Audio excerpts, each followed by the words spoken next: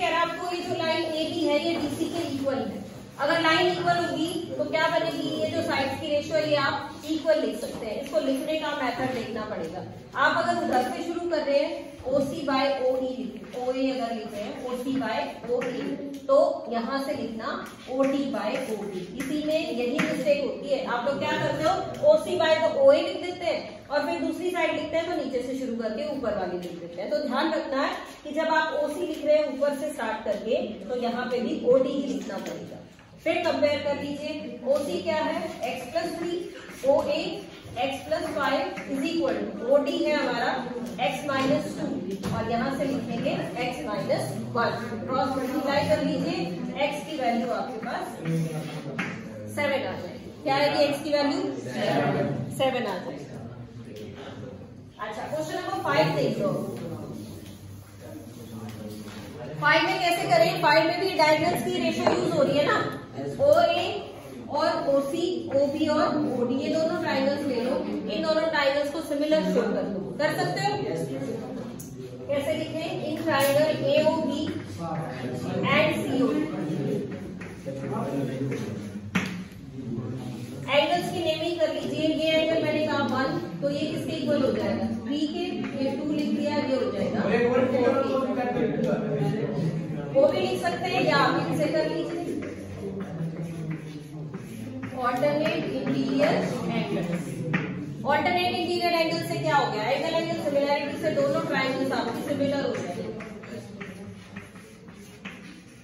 Bye angle angle similarity और similar triangles की आपको पता है साइड्स की रेशियो क्या होती है? कॉरेस्पॉन्डिंग साइड्स की रेशियो इक्वल होती है। तो वहाँ से आप लिख लीजिए AO by O C AO by O C तो इसी तरह से यहाँ लिखेंगे ऊपर से ओ बी बाय ओ हो जाएगा प्रूफ ऐसा ही आपने ये सेम क्वेश्चन एक्सरसाइज 6.2 में भी है। 6.2 में इसमें हमने कंस्ट्रक्शन की थी। By CB S T CB S T कोई रूल नहीं होता बेटा। बुक में कहीं मेंशन नहीं। नहीं लिख पाऊँगा सीपी सीपी होता है वो गवर्नमेंट ड्राइवर्स के लिए सीपी एस टी कोई क्राइटेरिया नहीं है। आपको किसी भी बुक में नहीं आप मुझे बुक दिखा देना। हाँ जी क्वेश्चन नंबर फोर की बात कर रहे हैं। देखिए एक triangle ABC with sides A find its altitude ABC कैसी ट्राइंगल है? इक्विलेटरल ट्राइंगल है। अगर इक्विलेटरल ट्राइंगल है और हम एल्टीट्यूड फाइंड आउट करना चाह रहे हैं।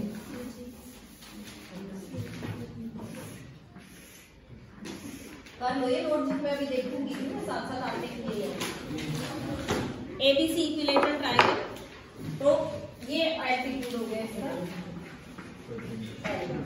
साइड से देखिए ट्राइंगल की ए ए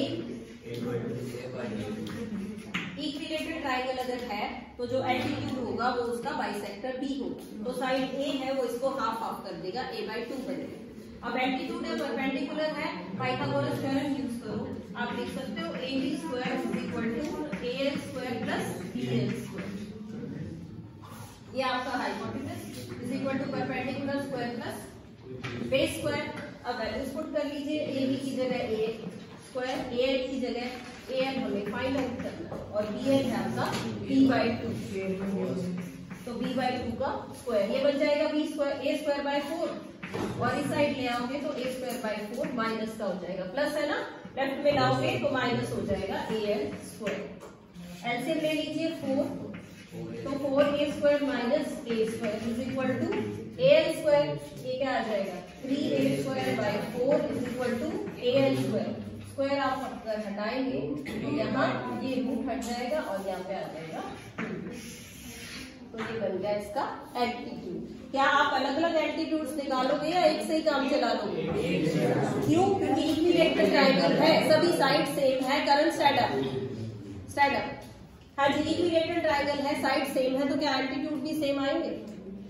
क्यों आएँगे? और अगर आएँगे तो मुझे उसकी डायमेंशन बता दीजिए आप। अगर एल्टीट्यूड सेम है तो लेंथ ऑफ़ एल्टीट्यूड क्या आएगी? पढ़ तो रहे हो आप? है ना? Root three A by A root के बाहर होगा या अंदर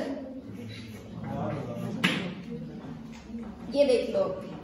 ट्राइंगल है P Q R question number three है हमारा। पी क्यू आर ट्राइंगल में P Q is equal to Q R ये गिवन है आपको। और साथ साथ ये कहा गया है P R square is equal to two Q R square इस टू क्यू आर स्क्वायर को हम अलग अलग करके लिख लेते हैं। इसको लिख लेते हैं क्यू आर स्क्वायर प्लस और जैसा क्वेश्चन में गिवन है क्यू आर और पी क्यू सेम है तो हम एक क्यू आर की जगह पी क्यू लिख लेते हैं। सेम है इसमें तो हम इसको लिख लेते हैं P R square is equal to P Q square plus Q R square अब समझिए। पाइथागोरस थ्योरम हमें लग रहा है कि पाइथागोरस होगी। ये हाइपोटेनस और ये बाकी दो साइड्स का स्क्वायर अब पी आर क्या बना? हाइपोटेनस पी आर हाइपोटेनस है तो हाइपोटेनस के जो अपोजिट वाला एंगल होता है, वो कितने डिग्री होता है? नाइन्टी डिग्री होता है। तो आप लिखेंगे by converse of B converse of Pythagoras theorem Pythagoras theorem नहीं लगाई इसमें हमने कन्वर्स लगाया by converse of Pythagoras theorem angle Q is equal to 90 degree angle Q क्या बन जाएगा? 90 डिग्री यानी राइट एंगल ट्राइंगल ठीक है? अब बीपीटी फटाफट कर दीजिए, बंद कर दो। स्टॉप कर दो।